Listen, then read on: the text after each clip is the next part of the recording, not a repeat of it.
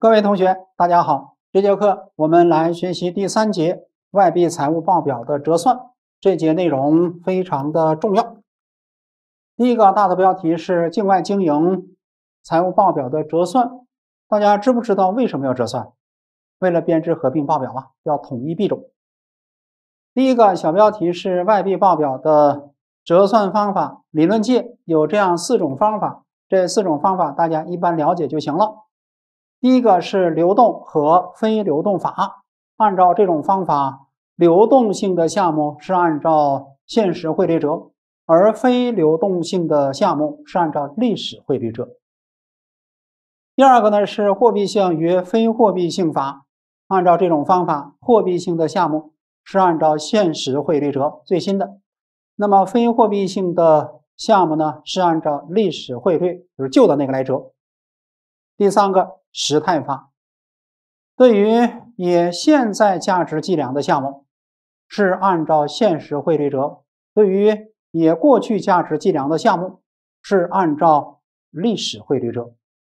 那么还有一种叫做现实汇率法，这是目前国际准则和我们国家准则所采用的主流的折算方法。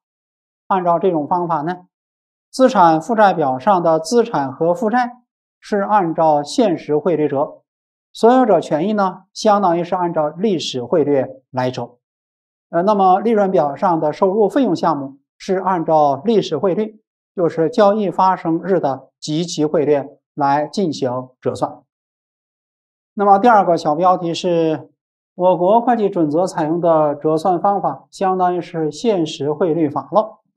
这个内容年年考，啊，一年考一道选择题。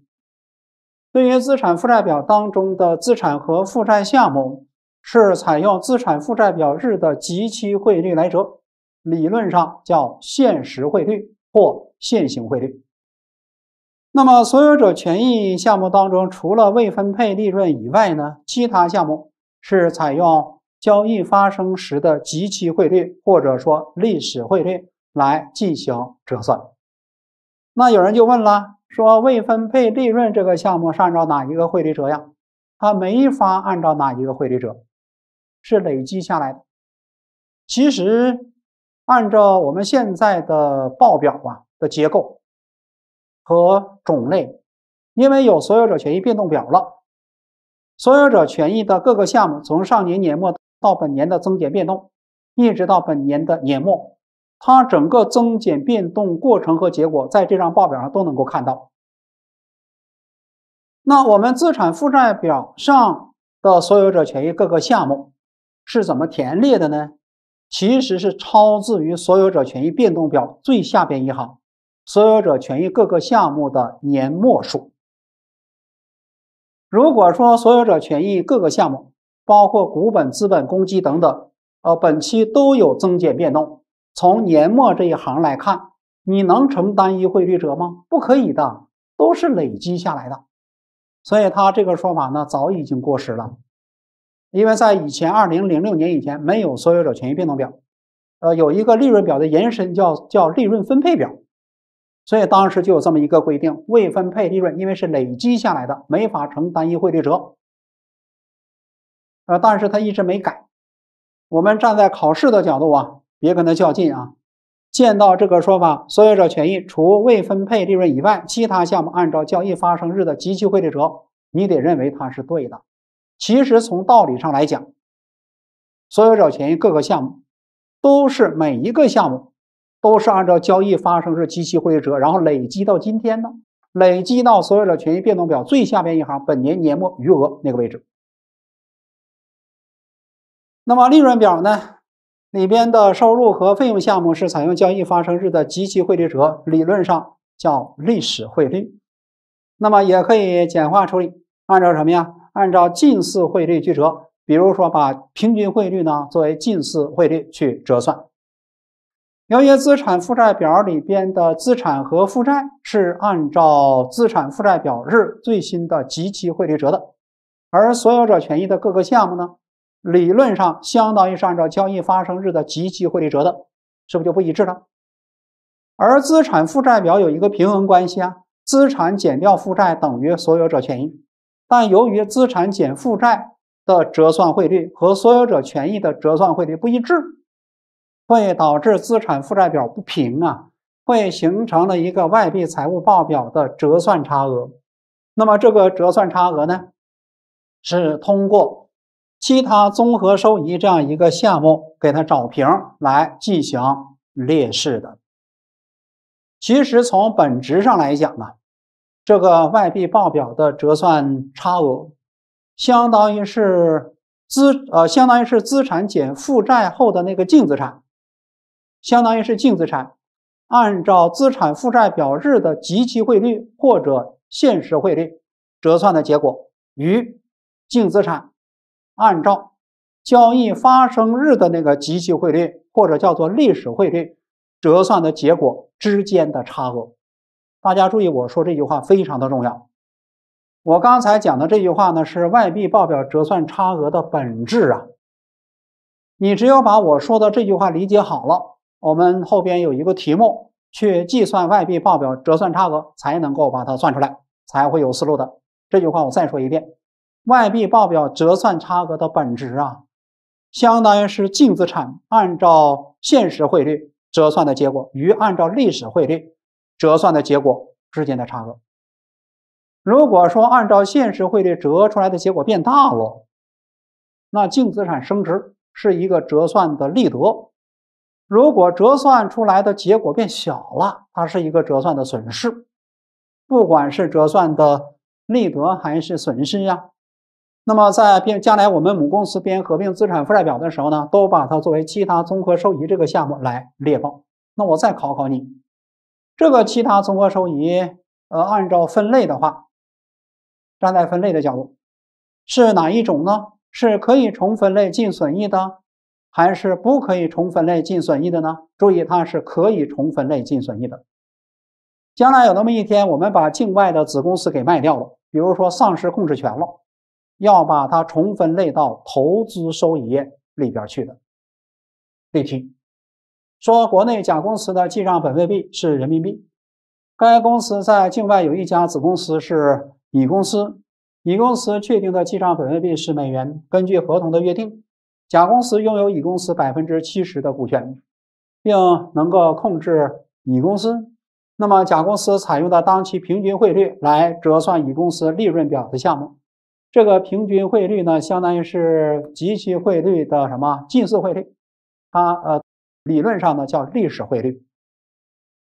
那么乙公司的有关资料如下：二某一五年底的汇率是一美元等于六点二元人民币；二某一五年的平均汇率是一美元等于六点四元人民币。大家注意，这六点四是用来折谁的呀？用来折利润表的。那么资产负债表日的即期汇率这个六点二。是用来折谁的？用来折资产负债表上的资产和负债项目的。那么股本资本公积发生日的即期汇率呢？是一美元等于七元人民币。在我们这个例子里边呢，股本和资本公积只呃只有当初公司成立的时候呃一笔发生额，后边没有发生变动，所以它就可以按照单一的汇率折了。如果说，呃，持公司存续期间某一年资本公积、股本和资本公积发生变化了，那么发生的那个发生日的那个股本和资本公积，就是新投资者加入的时候确认的股本和资本公积，得按照哪个汇率折？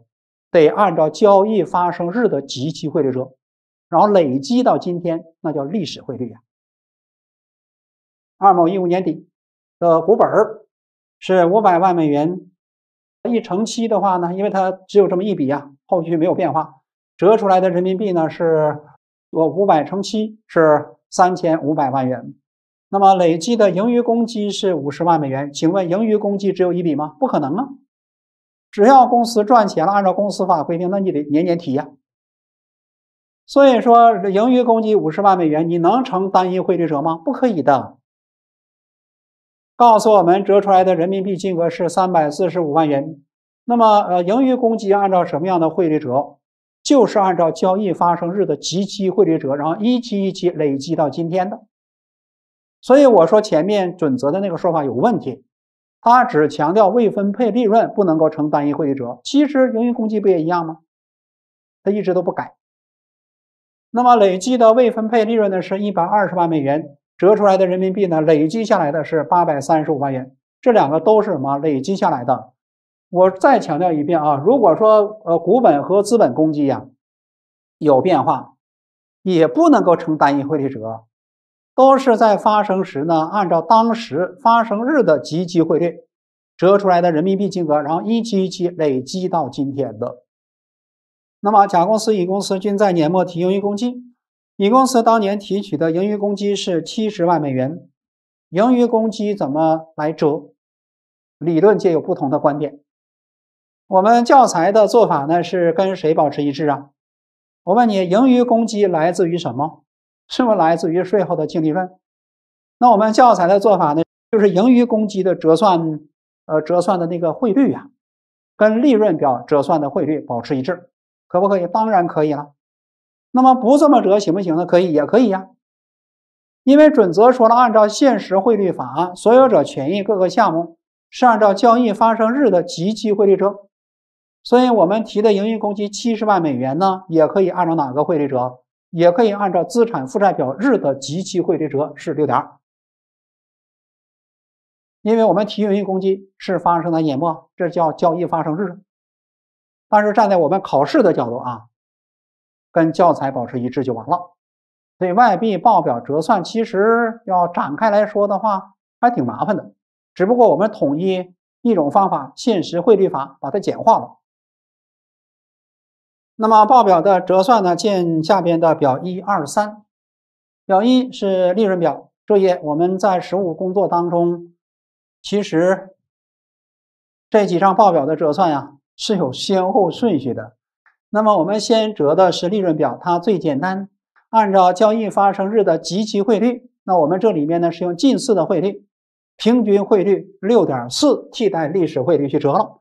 所以说，折算汇率的这一栏大家看到了吧？清一色的六点四，就把人民币的这一列呢是美美元数，这一列呢是折完之后的人民币金额。那么最终我们净利润的美元数两百八，折出来的人民币金额呢是幺七九二。那么请问，利润表上的净利润会影响到后边哪些报表？会影响到所有者权益变动表。里边的综合收益总额，按照现在的报表格式，一四年以后就改了。这所有者权益变动表里面不单独列示净利润和其他综合收益了，是把它们呃按照一个合计的项目叫做综合收益总额来进行列示。但你要知道，综合收益总额里边是包含净利润的，也就是说，利润表里边当期赚的净利润会怎么样？会形成会增加。所有者权益变动表里边的综合收益总额的本期数，当然呢，最终也会影响到资产负债表里边的什么里边的留存收益呗，就是报表之间是有勾稽关系的。所以下边我们折谁呀？我们就折所有者权益变动表呗。呃，第一个步骤即折利润表，第二个步骤呢去折所有者权益变动表。那股这里边只给定了股本、盈余公积、未分配利润。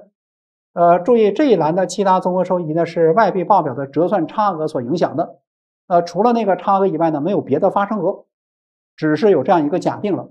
呃，当然这里边呢也没有考虑资本公积的问题。呃，那就是主主要这三项，看看怎么折。本年年初，题目当中直接给的呀，抄过来就完了呗。那么股本呢是五百万美元。呃，因为股本一直。没有发生变化，所以它可以乘呃交易发生日的即期汇率七去折，五百呢去乘七，这个结果呢是三千五百万元人民币。因为本期没有发生额移到下边，本年年末呢对应的美元数呢是五也是五百，人民币的金额呢也是三千五百万元人民币，这就折完了。那么盈余公积，它的年初数呢是五十万美元。折出来的人民币呢是三百四十五，直接给的，是累积到累积到本年年初的。那么本年有没有变化？本年有啊，本年提的盈余公积呢是七十万美元。咱们教材的这个例子呢，盈余公积的折算汇率与利润表保持一致，利润表按照平均汇率六点四折的，所以这边呢乘六点四，结果呢是四百四十八万元人民币啊。那么本年年末的余额。要期初的五十加上本期提取的七十，那美元数呢是一百二。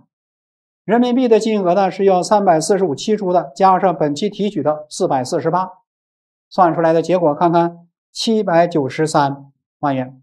那我问你，盈余公积这一百二十，最终折出来的人民币是七百九十三，是乘哪一个汇率折的？没法成单一汇率，累积到今天呢？为什么股本呢是乘期折下来的、折过来的？因为股本本期没有发生过，包括以前期间，除了公司刚刚成立的那一笔以外，没有别的发生过。所以说，股本它可以乘单一汇率。如果说公司成立到今天，过了很多年，股本每年都有发生额，你能乘单一汇率吗？成不了，都是按照当时发生日的即期汇率折完了以后呢，累加到今天的。这位懂了吧？那下边一个呢是未分配利润，它的期初美元是一百二，人民币呢是八百三十五，累积的啊。那么我们本期赚的净利润呢是两百八十万美元。折出来的人民币呢是按照平均汇率折的幺七九二。我们教材的这个例子呢，对应的项目是净利润。我刚才说过了，两千就是二零一四年以后，所有者权益变动表啊，里面不单独列示净利润和其他综合收益了，把他们哥俩呢合到一起，给它一个名，一个总总的名称叫综合收益总额。但是你得知道，综合收益总额里面包括当年赚的净利润是多少？美元的是两百八，人民币呢是幺七九二。懂了吧？由于我们从净利润里边提取什么？我们从净利润里边提取了盈余公积，最终会减少未分配利润，所以这边是负的七十，没有问题吧？这是美元数，然后对应的人民币呢是负的四百四十八，就是这边抄过来给它一个负号，负号就完了。那么我们算年末数，期初呢一百二加上本期赚的是两百八，减掉提取的盈余公积七十，美元数呢是三百三。人民币的金额呢？要期初的八百三十五，加上本期赚的幺七九二，再减掉本期提的盈余公积减少的四百四十八，那这个结果呢？看到了吧？是二幺七九。请问期末未分配利润三百三，这是美元，是成单一汇率折出来的二幺七九吗？显然不是啊，累积下来的呀。这样的话呢，我们就把所有者权益的各个项目，除了外币报表折算差额对应的其他综合收益以外的项目全都折完了。呃，那这个外币报表折算差额呢，是折资产负债表所产生的。因此呢，这张报表到这儿先告一段落。我们跳到下一张报表，谁呀？资产负债表。也就是说，第一个步骤结利折利润表，第二个步骤呢是折所有者权益变动表。当中除外币报表折算差额以外的那些项目，第三个步骤呢是折资产负债表。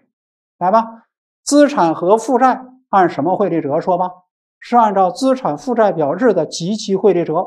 最新的六点二，题目当中是不是都给了？在哪儿呢？在这个位置，一美元等于六点二元人民币。所以资产负债表里边的资产和负债项目，大家是不是也都看到了？这是资产。这边资产项目，这边是负债项目，都是按照什么汇率折的？都是按照资产负债表日的即期汇率或现实汇率来折算的。呃，那么我们呃用资产折出来的人民币金额减掉负债折出来的人民呃呃人民币金额，它俩做一个差，净资产或所有者权益的总数折出来的人民币金额，是不是就确定下来了？那么资产的人民币金额合计是幺零五四零，负债的人民币合计数呢，在这儿呢是四六五零。我们用幺零五四零减掉谁呢？减掉这里边的在哪儿呢？在这儿的话，呃，在这儿呢，减掉这边的四六五零，就能够算出来所有者权益的人民币金额，在这儿。五八九零可以给大家算一下，幺零五四零减掉四六五零，你拿计算机算一算，口算也可以，是不是这个数字五八九零？所有者权益的总数，人民币的金额是不是就算出来了？那么接下来解决什么？解决所有者权益具体项目的数字，怎么解决？一个字抄。抄哪儿啊？抄哪一张报表啊？所有者权益变动表的最后一行。我们再带领大家看一下所有者权益变动表。那么本年年末的这一行对应所有者权益各个项目的数字啊，都已经折完了，抄过来就完了呗。股本呢是三千五，盈余公积七九三，未分配利润二幺七九，看看是不是在哪个位置？是不是在这儿呢？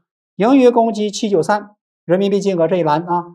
那么未分配利润的金额呢是二幺七九，股本呢是三千五，那么这几个项目全都折完了。这里面没有涉及到其他的所有者权益项目，但问题是股本三千五加盈余公积七九三，再加未分配利润二幺七九的和，它不等于所有者权益的总数五八九零，那二者之间的差额就是外币报表折算差额，多少呢？负的五百八十二，相当于是折算的利得还是折算的损失啊？相当于是一种折算的损失。那也就是说，按照它的本质，净资产按照现实汇率折算的金额，减掉按照历史汇率折算的金额，变成负数了，变小了，是一种折算的损失。所以呢，呃，这个数字五百八十二前面给它一个负号，这样的话呢，我们用股本三千五加营运公积七九三加未分配利润二幺七九，再减掉外币报表的折算差额五百八十二。就等于资产减负债的差额五八九零了。到这儿的话呢，我们把谁折完了？嗯，到这个位置的话呢，我们把资产负债表给折完了，确定下来外币报表折算差额的数字是负的五百八十二。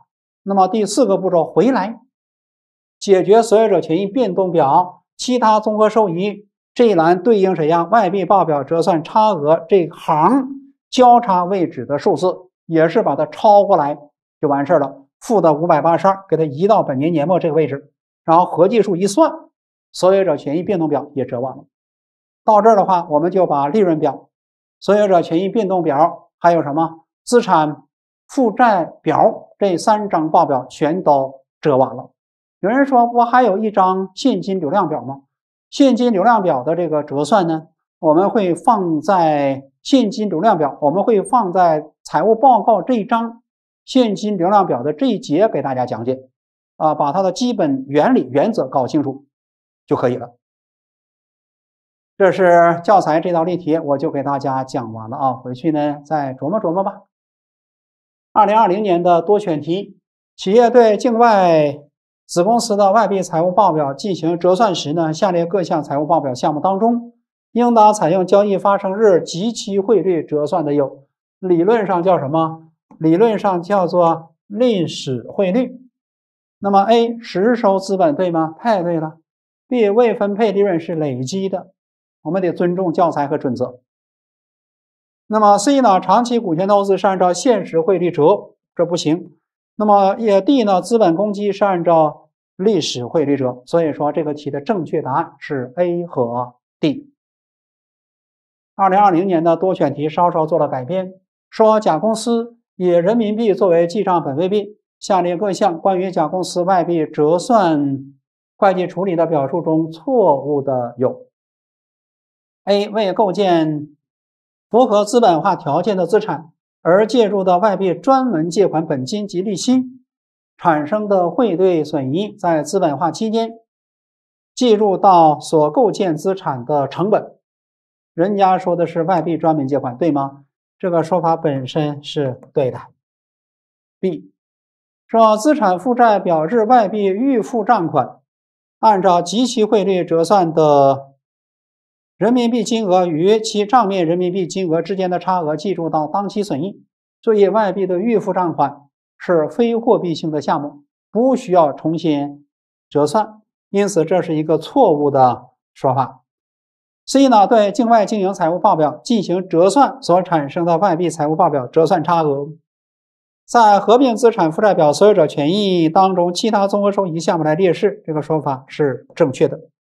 D，D 选项说收到投资者投入的外币资本是按照合同约定的汇率折，这个对吗？这个是过时的做法了，是按照交易发生日的即期汇率折。这个题让我们选错误的，所以这个题的正确答案是 B 和 D 这两个选项。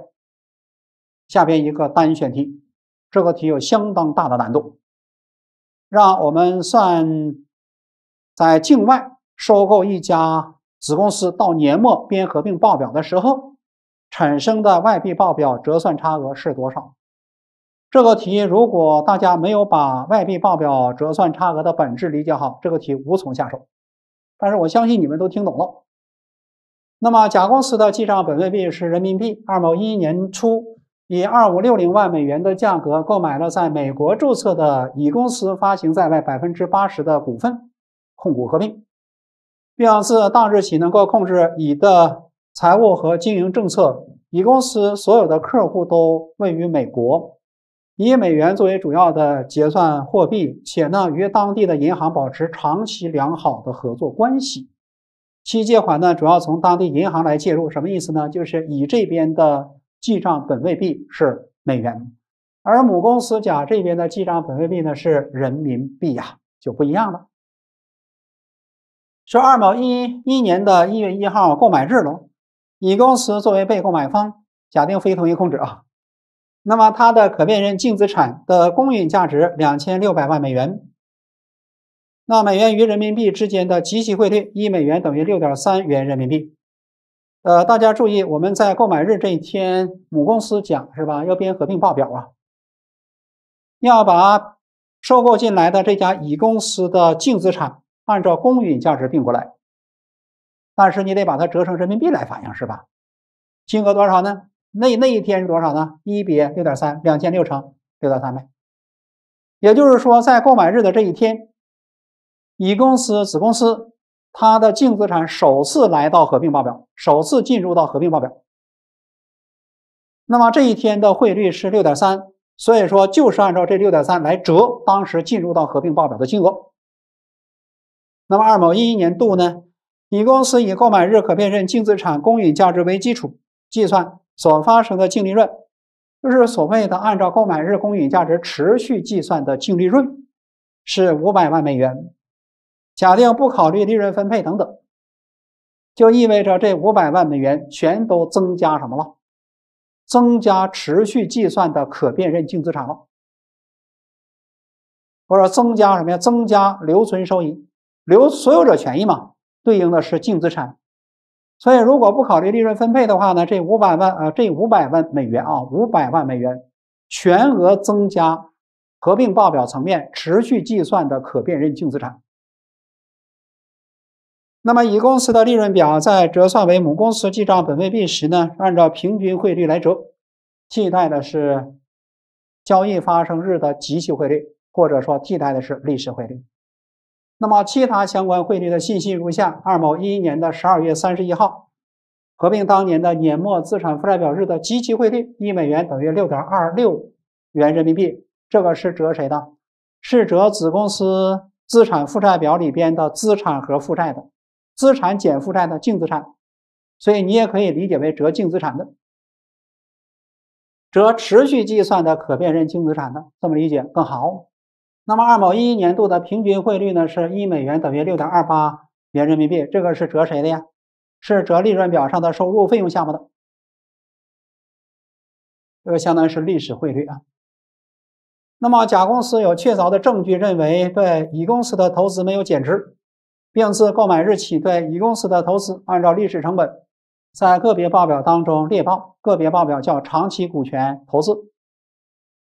那么，乙公司二某一一年度的财报折算成为母公司记账本位币时形成的外币财务报表折算差额是多少？是不是难啊？在理解好外币报表折算差额的本质，才有资格、才有能力做这道题。我前面给大家讲过两遍了，外币财务报表折算差额的本质啊，现在我给你讲第三、第三遍，是净资产。呃，站在我们这个题的角度呢，可以认为是按照购买日公允价值持续计算的可辨认净资产，对应乙公司的持续计算的可辨认净资产，就是净资产按照资产负债表日的即期汇率，理论上这叫现实汇率六点二六，折算的结果与净资产按照交易发生日的汇率，现在叫历史汇率折算的结果之间的差额。那么这六点二八是什么呀？六点二八呢，相当于是历史汇率。另外，在购买日这一点也给了一个汇率是六点三。站在资产负债表日来看呢，这也叫做什么历史汇率？这个道理明白了，我们就可以去算了。那么持续计算的可辨认净资产得乘哪个汇率啊？得乘资产负债表日的即期汇率。那么持续计算的可辨认净资产是多少呢？购买日算起嘛，购买日呢是两千六，题目当中给定的。那么在当年，人家子公司赚了多少？赚了五百。我刚才说了，不考虑利润分配，全额增加持续计算的可辨认净资产。所以到资产负债表日期末这个点来看呢，子公司持续计算的可辨认净资产合并报表角度的是两千六加五百，但这个是美元的金额。我们说了，资产和负债按照哪个汇率折呀？按照资产负债表日最新的即期汇率来折。那么资产减负债叫什么？不就是净资产吗？所以说，两千六加五百，这叫净资产乘上资产负债表日的即期汇率，那也就是最新的理论理论上呢叫什么叫现实汇率六点二六？刚才已经给大家解释过了，是吧？这块大家都懂了。这是持续计算的可辨认净资产，按照资产负债表日的即期汇率折算的金额，那你得减掉什么呀？得减掉持续计算的可辨认净资产。按照交易发生日的即期汇率，现在叫历史汇率折算后的差额。呃，那么交易发生日是不是有两个汇率？最早呢，对方乙公司的净资产来到合并报表是购买日那一天，那么可辨认净资产在那一天是两千六，当时的汇率呢是六点三，所以两千六乘六点三，这叫历史汇率。这是净资产最初来到合并报表的那一天。按照当时的即期汇率六点三折出来的结果，现在叫历史汇率。还有呢，人家的净资产在整个这一年间发生变化了，为什么赚净利润了？赚的这五百万元的净利润全额增加持续计算的可辨认净资产。那么这个五百万元的净利润按照哪一个折的呀？按照历史汇率平均汇率六点二八来折的，它替代的是历史汇率。所以说。括号里边两千六乘六点三加五百乘六点二八的和，给它括起来，什么含义？就是合并报表角度，子公司持续计算的可辨认净资产，按照交易发生日及其汇率折算的结果呀。而我们这边呢，两千六加五百的和乘六点二六呢，是合并报表角度，子公司持续计算的可辨认净资产乘资产负债表日的即期汇率折出来的结果。两者之间的差额不就是外币财务报表的折算差额吗？金额呢是负的幺幺四，选项 A 是正确的，听懂了吗？这个题回去再好好琢磨琢磨啊。那么第二个小标题咱们就讲完了，下面进入到第三个小标题是特殊项目的处理。这里边讲了应该是两个特殊的项目，我们先说第一个。少数股东应当分担的外币财务报表折算差额，要把它转到哪儿去？少数股东权益。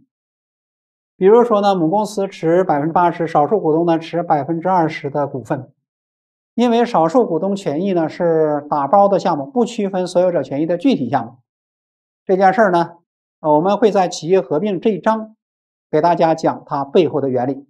那这里边先记住它的结论。少数股东权益不区分所有者权益的具体项目，是一个打包的项目。为什么要打包？企业合并那章我会跟你讲。既然呢它不区分所有者权益的具体项目，我们就需要把这一部分从其他综合收益的具体项目当中转出来，记到哪儿去？啊？记到这个打包的项目叫少数股东权益。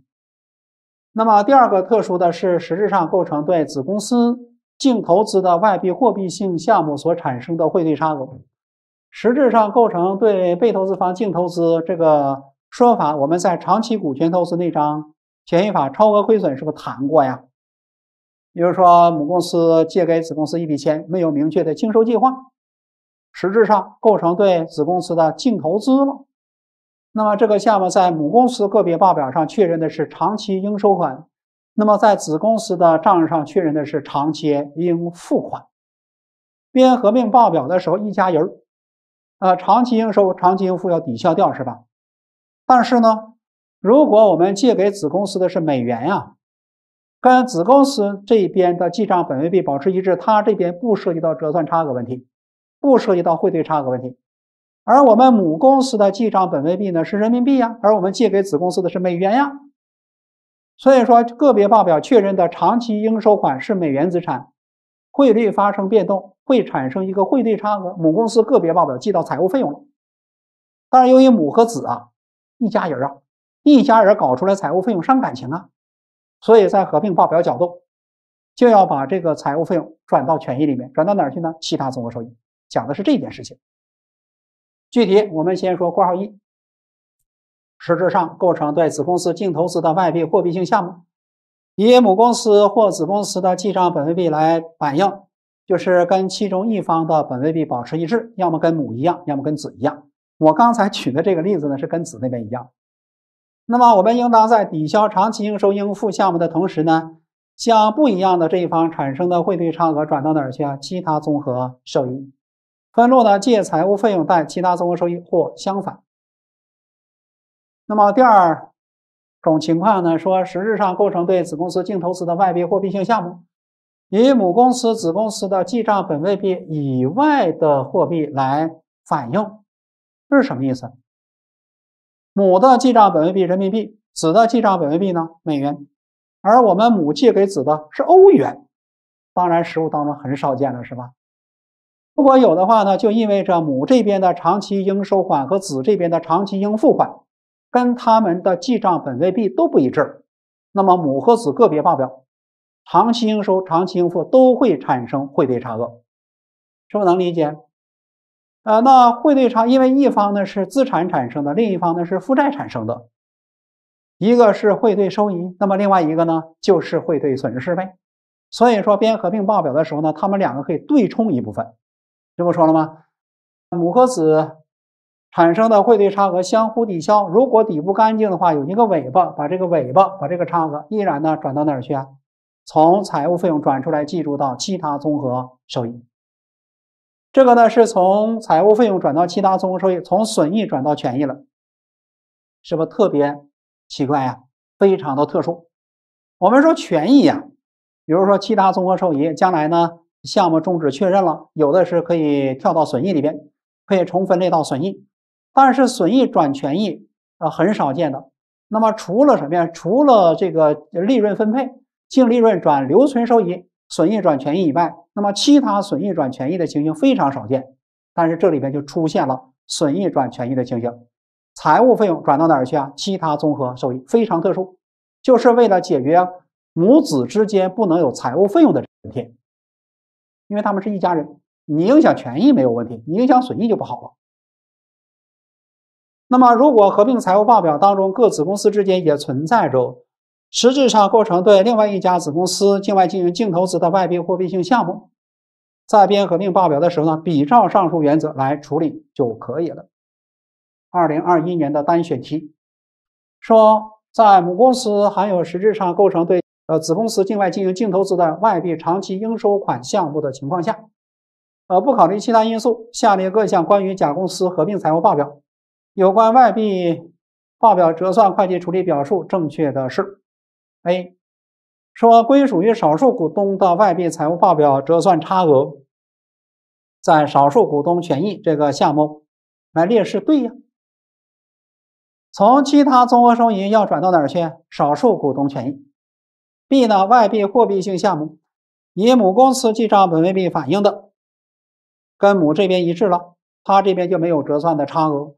在抵消母和子长期应收应付项目的同时，将子这边产生的汇兑差额在财务费用项目当中列示，在它个别报表是记作财务费用了，合并报表转到其他综合收益。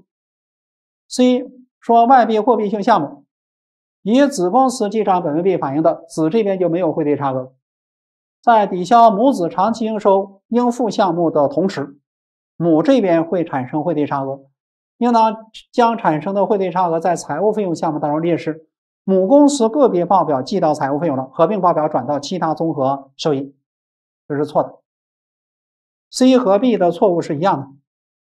D 呢说外币货币性项目以母或子以外的货币反应，在抵消母子长期应收应付项目的同时，将产生的汇兑差额在财务费用项目当中列示。那错的跟 B 和 C 一样啊。个别报表是记到财务费用了，然后抵消一部分。如果说财务费用抵不干净，把它的余额转到哪儿去？其他综合收益。所以这个题的正确答案是 A 选项。一六年的单选，下列各项关于外币财务报表折算的会计处理当中正确的是：A，在合并财务报表当中，各子公司之间存在实质上构成对另外一家子公司净投资的外币货币性项目，产生的汇兑差额。应当由少数股东来承担，这个说法是不是有问题呀？跟他啥关系啊？如果是在母公司个别报表产生的差额，跟少数股东这边没关系。那么，如果是子公司这边个别报表产生的汇兑差额，你说有跟他有没有关系啊？子公司个别报表这边产生的，就是跟他那边不一致了，他那边长期应付。呃，长期应付款产生的汇兑差额，个别报表计入到财务费用了，个别报表计入到财务费用，合并报表要转到其他综合收益。而少数股东呢，对子公司持股份啊，那么这种情况下，它就会影响到少数股东权益。但如果说汇兑差额是在母公司这边产生的，跟少数股东没关系。B 呢说，在合并财务报表当中，对境外经营子公司产生的外币报表折算差额。应当在归属于母公司的所有者权益当中单列外币财务报表折算差额项目反映，这是二零一四年以前的说法了。二零一四年以前，外币报表折算差额的项目名称就叫外币报表折算差额。一四年以后，把它改成其他综合收益了。列以母子公司记账本位币以外的货币反映的。实质上构成对境外经营子公司净投资的外币货币性项目，其产生的汇兑差额在合并财务报表当中转入当期财务费用错转入到其他综合收益。那么 D 呢？以母公司记账本位币来反映的，实质上构成对境外经营子公司净投资的外币货币性项目产生的汇兑差额在合并报表转到其他综合收益。D 是对的，所以这个题的正确答案是 D。下一个单选。甲上市公司以人民币作为记账本位币，其全资子公司是乙公司所确定的记账本位币是美元。那二毛二一年的七月一号，为补充乙公司经营所需要资金，那甲公司以长期应收款的形式呢，借给子公司五百万美元。是在国外的孩子没钱了，妈妈得给打钱，实质上构成对乙公司的净投资了。那这边长期应收，那边长期应付，是美元是吧？而我们母这边的记账本位币呢，人民币呀。所以说长期应收在母的个别报表会产生汇兑差额，记到财务费用，合并报表转到其他综合收益。而我们子这边拿到的长期应付款是按照美元记的，而它的记账本位币呢也是美元呀，就没有汇兑差额呗。除此之外呢，甲乙之间没有内部交易。七月一号的即息汇率是一美元等于六点八元人民币。那么母公司个别报表上就是按照这个来确认、来折算的，就是确认长期应收款的时候啊，是按照六点八来折的。那么年底的汇率变成了一美元等于六点六元人民币，汇率下降，我们确认了一个美元的资产，汇率下降产生的是汇兑损失，怎么算呢？六点八减掉六点六的差额乘上五百就可以了。怎么做？借财务费用贷长期应收款。那么因实质上构成对乙公司的净投资，在合并报表当中应当确认的其他综合收益是多少钱？这个题我们站在主观题的角度给大家分析一下。母公司个别报表七月一号五百乘六点八，结果呢是三千四百万元人民币，借长期应收款贷银行存款都没问题吧？子那边呢，借银行存款贷长期应付款博商？他那边直接就记五百了，五百万美元，跟他的记账本位币保持一致，他那边不用折。那年底母公司个别报表确认汇兑损失，五百乘六点八减掉六点六的差，一百万元，贷长期应收款借财务费用一百万元，汇兑损失。乙公司个别报表呢？啊，我们刚才做的是母是吧？啊，下边做子了。拿到借款借银行存款贷长期应付款是五百万美元，他这边不需要折算，账上不需要折。那么等到期末编合并报表的时候呢？期末编报表的时候，是不是得折了？因为你得加总啊，加总之前得统一币种。